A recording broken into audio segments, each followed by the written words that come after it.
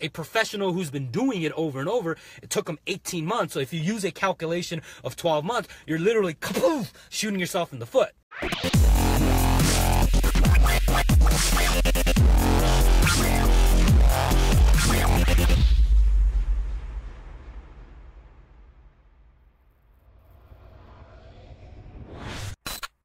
What's up, my beautiful people? Another beautiful day as I'm headed into the office here. Now, in this episode of Jeff Coga Daily, I want to talk about a uh, Los Angeles, and this is for my people in the Los Angeles area or doing business in Los Angeles, um, and their investors in Los Angeles. Listen up closely. Um, this is kind of my public service announcement, I guess, um, um because I want to talk about two things as I go drive into the office. Is number one is I want to talk about is a possible uh, deal that uh, went from a two hundred thousand uh, profit that I've been working on to possibly zero. And I'll also talk about uh, how I'm turning this lemon uh, into possibly a lemonade. And also, I want to talk about uh, a new uh, ordinance.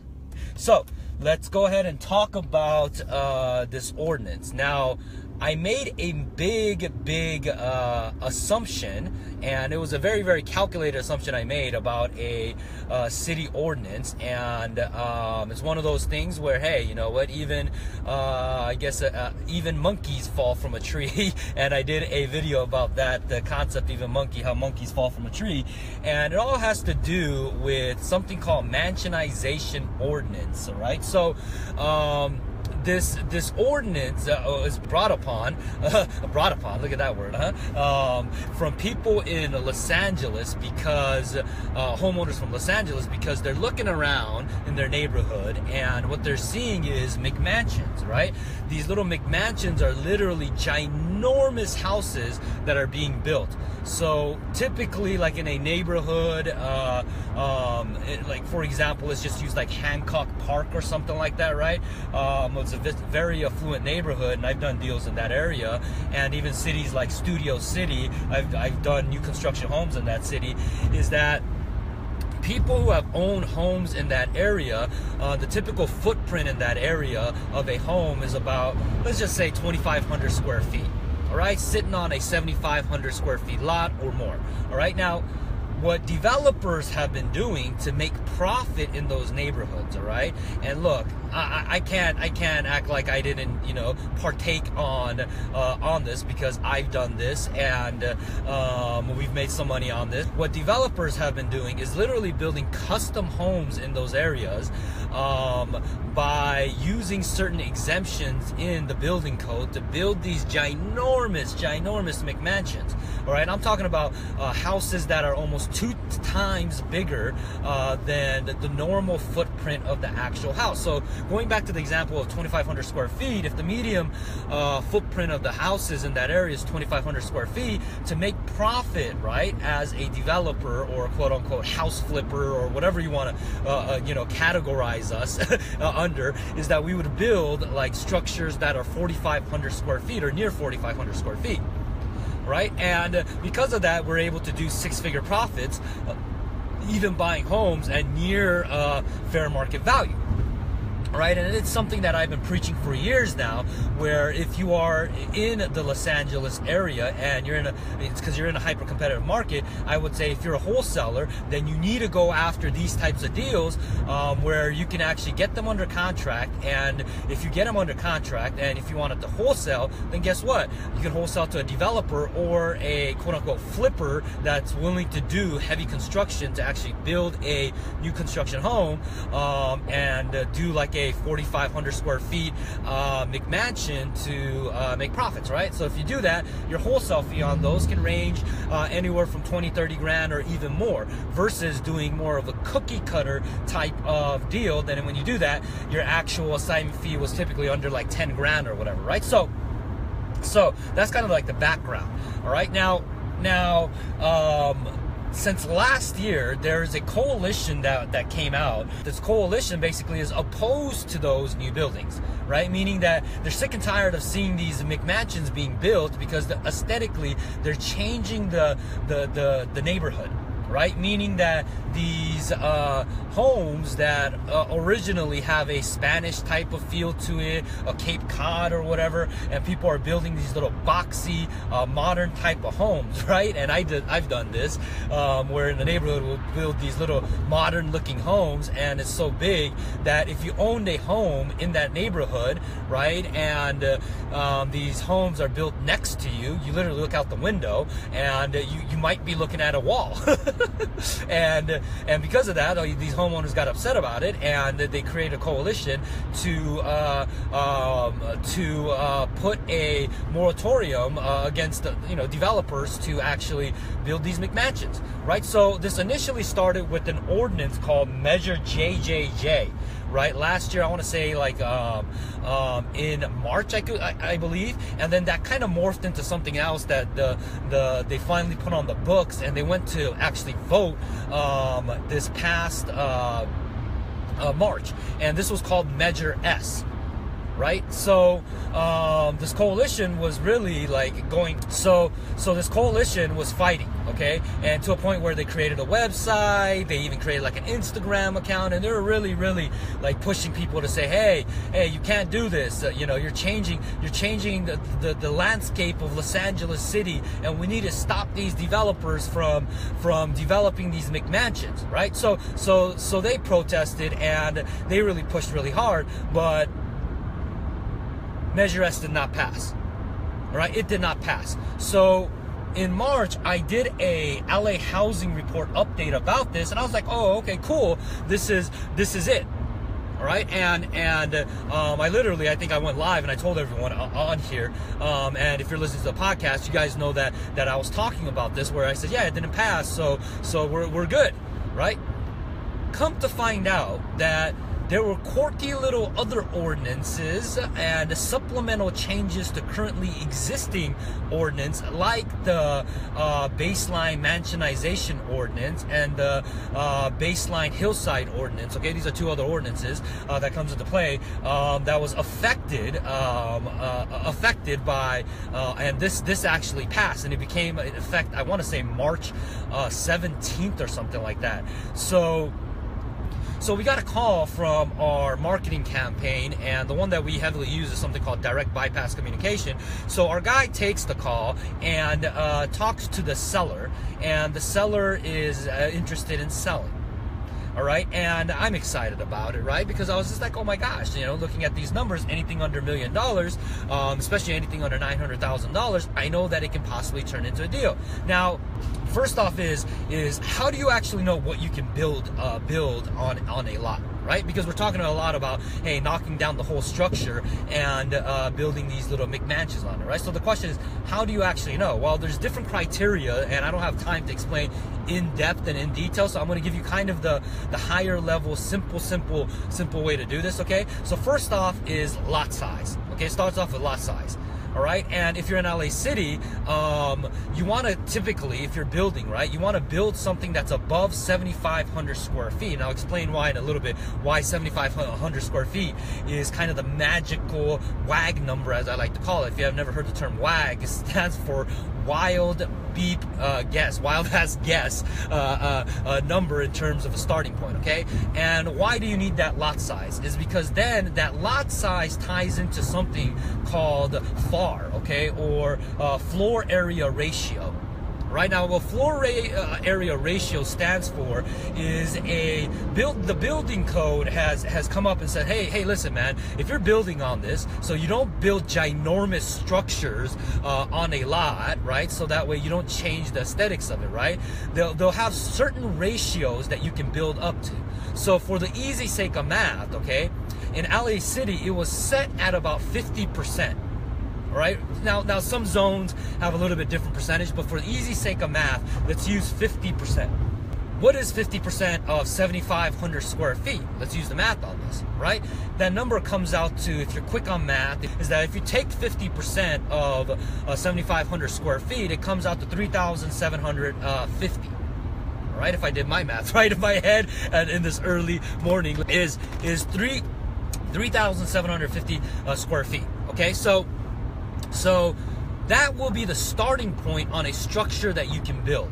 All right, so so let's let's look at this again, okay? So meaning that if you have a lot size of 7,500 square feet, and if you use the the FAR ratio or floor area ratio, right, of 50%, you can build a 3,750 square feet structure.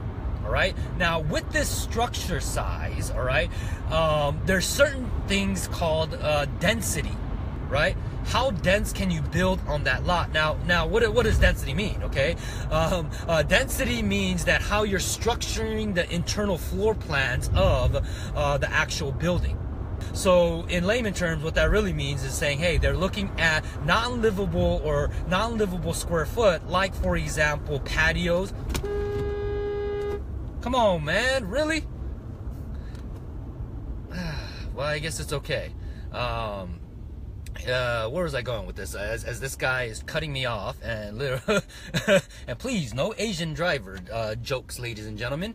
Um, so uh, that'll be funny. Um, so so where was I going? Yeah, density. Yeah, so so there's something called um, uh, a density bonus that we would use, and um, when we're building these in McMansion, and the number in LA City that we have is 20% density bonus, right? So so we can take the actual uh, um, using the FAR ratio to get 30,750 uh, uh, square feet, and then you can take 20% of that, right?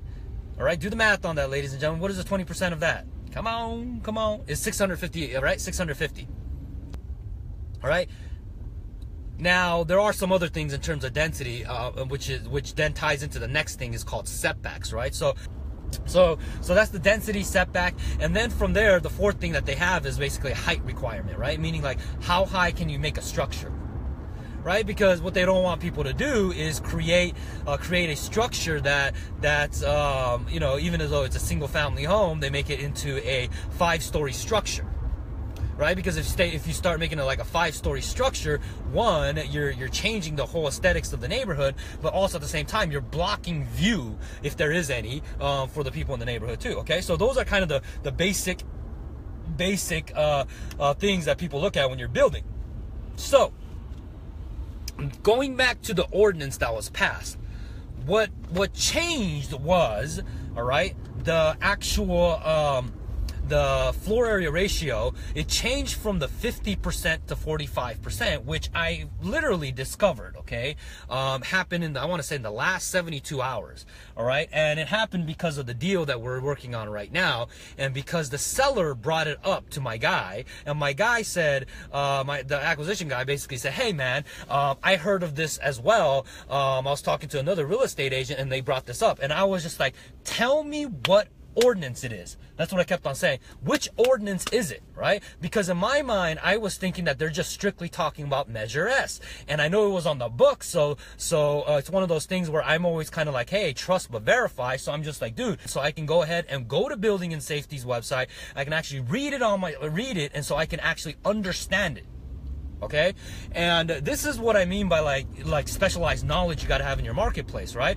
So so so i kept on asking that but no one can actually give me that information right? So so in the last 72 hours i started with that and i started looking into it. So i i called my old architect i called my old engineer right um, that did custom homes with me and i hit him up and i said hey dude um, i got this deal. I'm thinking about buying this property because um, legitimately i am thinking about buying it but um, i may wholesale it as well and i need to know about this. So I said, hey, um, no, you should be fine. There is nothing that I know of that has happened, right? That's what he said to me. And I was like, okay. I was like, all right, cool. This guy's knowledgeable. He's done, we've done, you know, multiple, multiple projects together and I have confidence in his knowledge base. So I said, hey, man, um, uh, there's, there's, there's, there's nothing.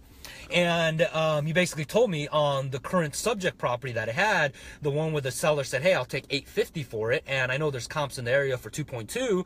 Um, um, I said, "Hey, you know what? Um, I think this looks like a smoking deal. I might be able to actually sell this for maybe like 950 or something like that, and make a quick 100 grand or something like that within a 30 day period, right?" So I got really excited about it, right? Something in my gut wasn't wasn't right okay? It's one of those like sixth sense that i like to call it right? I think uh, malcolm gladwell if anyone read the book uh, blink right? He's a uh, um, you know if you haven't read it highly recommend for you to read the book blink as well as read the book uh, tipping point from malcolm gladwell. But in the book blink with malcolm gladwell they talk about the 10000 hours right? So if you do 10000 hours of something right you start to develop the sixth sense of of when something doesn't uh, you know feel right all right? And and something did not feel right for me right? So what i ended up doing was was basically with the with the with my acquisition guys we started analyzing kind of the comps right? So again there's two ways to analyze the comp. See see what's selling okay currently right now on the marketplace as well as what's sold on the new structure that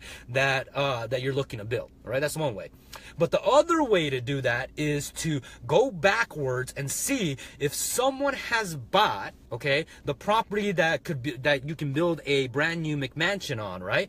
And to see if someone has bought um, close to the price point that you have almost uh, uh, that you're you're gonna get it for, right? Uh, so, so more in layman terms and practical way, right? We started looking at says, okay, um, the footprint on this eight, uh, you know, this eight hundred fifty thousand uh, dollar uh, that we can get on, right? Is is it um, is there other property in a half mile radius in that pocket where uh, other homeowners have sold? Uh, there was a sale, and in that sale process, um, did did developers buy this?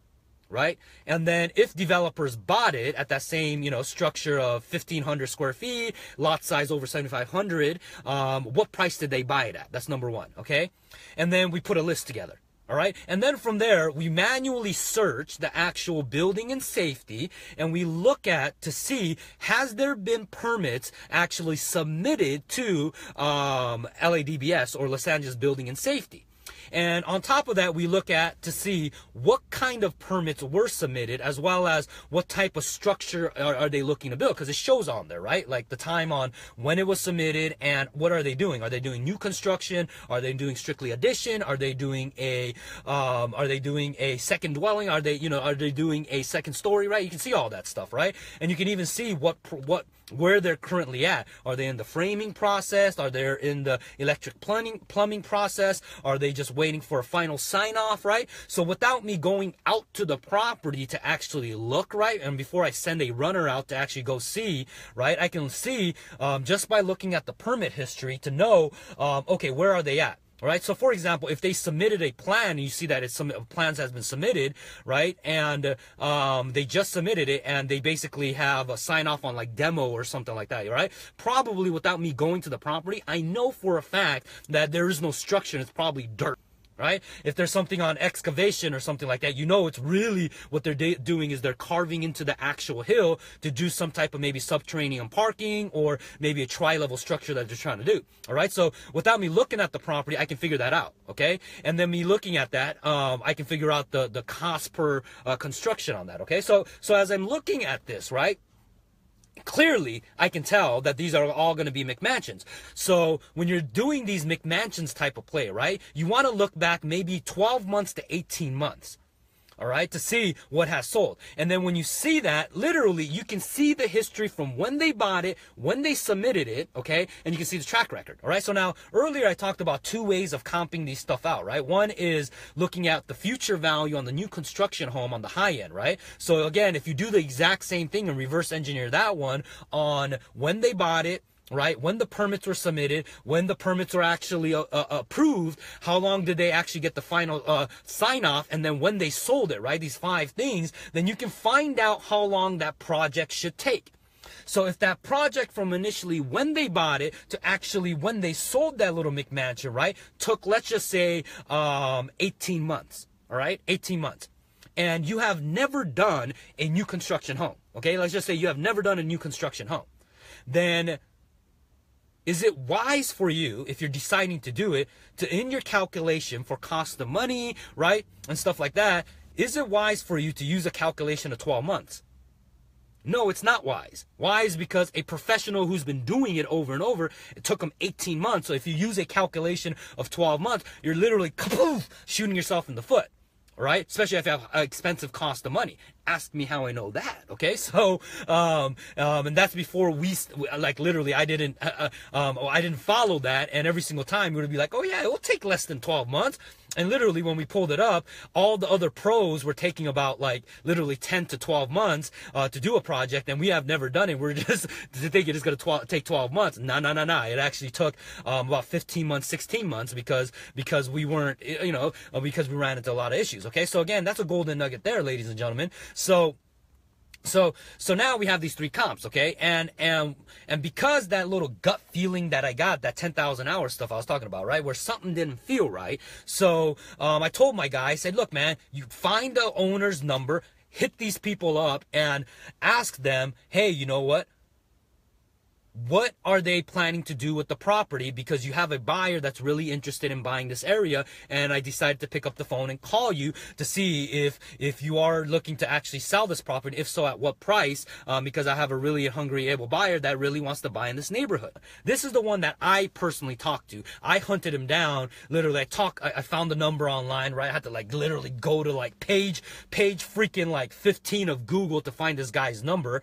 And um, I found the number and the phone phone number originally when I called it, it went to a fax machine. So I was like, so I was literally this close to send him an e-fax and be like, call me uh, ASAP about, I was going to put like the property address and I was going to e-fax it to them. But I said, you know what? Let me just call them again. So I called that number back up and then guess what? A female picked up. So, so I, the, the guy, I said, hey man, uh, I said, it was, it was a chick, but I said, hey, um, I'm talking about such and such property. Um, I have a property in that area that's coming out with the same specs. Are you guys still buying in that neighborhood? And then the, uh, uh and then she says, and I didn't know if she was the wife at that time. She says, um, yeah, I might be possibly interested. What's the address? And I said, I said, well, before I give you the address, I said, I said, what, you know, help me out here. What are you planning to sell, sell the property for? Are you even looking to sell? And then she was just like, well, we're not sure if we're going to sell yet. Right. Again, playing that game, right? Playing that game, okay? Right? Because again, it's a corporation that that's bought, and this person is a builder contractor, all right? And you know that they're going to sell it for a profit. They're not going to hold on to a McMansion for for cash flow purposes on a on a property that comps out at two million dollars, and they can only rent it out for four thousand dollars a month or five thousand dollars, whatever that dollar amount becomes. Okay, they're not going to do that. So so she didn't want to tell me that, or maybe she didn't know, which is highly unlikely because after I said, hey, you know what, I'll send you the, the property address. Um, let me get your email um, to make things easier for communication. So I got that. I sent it over to her. And um, she basically said, um, what did she say? I asked her. I said, so "Yeah, so so are you the wife?" That's what I that's what I said, right? Bas- basically using the assumption method, right? Meaning I'm assuming that she's related in one way versus saying, "Who are you and what's your relationship with the person?" Right? I said, "Hey, I'm guessing you're the wife, right?" And she's like, "Yeah, I am." And I was like, "Great, you know what? Pass pass this information on when you get my email to such and such, and hey, let's have a conversation in the next few days." Because I wanted to give you first right of refusal uh, for this particular property because I know you guys are the real deal, right? So I sent that out didn't hear back. Crickets, crickets, crickets. I'm like, damn it, man. Did this wife not forward this information to him? Which was highly unlikely, right? Um, so, um, I wanted to find this guy's cell phone number. So again, I had to go back in hunting mode on the internet and I went to go search, search, search, search. And then boom, I thought I found the number and I started calling around and magically, um, I know it took me like probably like a good 30 minutes of searching, but I found the number and, um, I found the number and I finally called. His voicemail wasn't set up right or anything like that because you know how when you call and you have a voicemail. So I basically sent him a text. I said, hey, he said, I'm calling you about your property on, boom, boom, boom. I said, um, I have another property right in that same area. Are you still buying? Please give me a call. Right? So I sent that. Nothing. All right, because usually if people are interested or they're not busy, they'll call you right back. So I went above and beyond, right? I went to the Secretary of State, pulled up their actual um, in California. This is something new. It didn't, it, you know, just recently happened. Is if you have an entity's information, you can literally see their statement of information on file. So I pulled that document up and it said the guy it said the name and but the last name matched with the actual uh the person I was calling. So I was like, okay, there must be some relationship. So I googled that guy's name. Boom, pops up as a local attorney All right. And as an attorney, um, I was like, all right, let me call this guy. So I pick up the phone I call him. And the funny thing is, the number I found was on Facebook, and he had like a 3.25 uh, a star on there, right, and some pretty bad reviews on there. So I call it, and and instantly I I get a uh, um instantly you know this this lady pops up and sounds like a very um, agitated voice. Uh, such and such law's office. How can I help you? And then I was like, yeah, I'm looking for such and such. Is he there? She goes, please hold, and literally puts me on hold. And then instantly, when that happens, this is where experience comes in, right? When that happens, my gut told me, oh yeah, he's a small, uh, he's a small time attorney, and this is a satellite office right? Without me looking at the actual address. So while I'm on hold, I Google the address, and uh, surprise, surprise, the satellite, you know, uh, satellite office, meaning that it's a it's a office that is like rented out, and they have like answering service or whatever, right? And then I says, yeah, I'm trying to leave a message for for him. Can you transfer me to him? And was like, uh, she was like, yeah, the best way is to shoot him an email. I was like, oh, great. So what's his email address? I have a pen and paper and she says the name. I was like, cool. So I get the email address. Um, and then from there, um, as I got the email address, um, I started searching a little bit more. And then because I wanted the actual guy's email, right? So I found his email too, right? The actual builder's email. So I got that and basically CC'd the attorney, CC'd him, and put put in the same thing as the text. I'm calling you about the property on street address. Hey, I got another one down the street that's coming up. Are you are you still buying? And then immediately when I sent that, right? And I said, yeah, you know, um, I got this property. And then he brings up the ordinance issue. And I'll wrap it up with this because I need to go into the office. And he brings up the ordinance issue. He's like, yeah, well, new ordinance passed. So, um, so, you know, we can't build, uh, the big as this. And, you know, I'm talking on the phone like I know my stuff, right? Like I'm just like, I'm just like, well, if you're talking about Measure S, it didn't pass. So, you know, this doesn't actually apply. The only part that does apply is if this lot size, square foot lot size is 75 square feet and under, then, then the floor ratio from the build out is from 50 percent has now gone down to 45%. So instead of being able to build a 3,700 square feet, you can only do a 3,225. And but it doesn't apply because this this lot size is 8,275 right? That's what i was telling him. He's all like well that is true but there's other ones you know? And i was like what do you mean? He's all like and then he he's like can you tell me? He's like what do you mean? And he was like yeah uh, the density bonus uh, uh, he's all like yeah the density bonus has been removed I was like, really? And now by this time, okay, when I was having this conversation, I already had a conversation with my architect who told me that it, that everything was fine. So I'm getting conflicting stuff, right? So he's saying that, hey, you know what? It's been removed. And then also, on top of that, he basically said, yeah, the garage calculation has been changed too, where now the garage calculation has to be used in uh, the actual footprint of uh, the, the building. So that, that basically uh, you know, layman terms, it means that, that you can't really build it what it is. And the guy basically said, he says, oh, what's the lot size and what's the actual, um, what's the actual width and width and length of this lot? And I can tell you what we can build. And I didn't have that. I wish I had it. Um, so a building that you're building, like a house, from 4,500 square feet to 3,600 square feet, that's almost a thousand square feet in living space, all right? That's significant, ladies and gentlemen all right, from turning it into a deal or not a deal. So for an original deal that looked magnificently like I can make maybe 50 to 100 grand per contract on these uh, on these uh, uh, two other ones that I had, has now maybe came back to zero. And so I'm kind of like, whoa. So I get, I get all, I'm like, I guess like, okay, cool. Well, let me send you the information that I got, and then please get back to me right? So I ended up the, I ended the conversation with the guy, and immediately after I ended this, I called the darn engineer back again, my the architect team. I said, man, hey, man, this is what a contractor said, man. It, so so what's up with that? Do you know anything about this? And he says, ah, Jeff. Uh, I just talked to uh, I just talked to a different architect. Um, I didn't handle that side, and we just went to uh, this morning to submit and uh, um, we got our plans denied because yes they did pass. It was literally last week that's what he said. Um, and i was like right? So um, he said that, and I said, okay, what ordinance is that, right? And by this time, I still didn't have the name of the ordinance, right? So he's all like, yeah, I'm not sure, so I have to read up on it. That's what he said. So I'm just like, um, get, okay, when you find out on it, send me the article because I like to read and I like to figure out stuff, you know, to see how we can how we can, um, you know, navigate through this, right? And that's kind of my geeky side that comes in.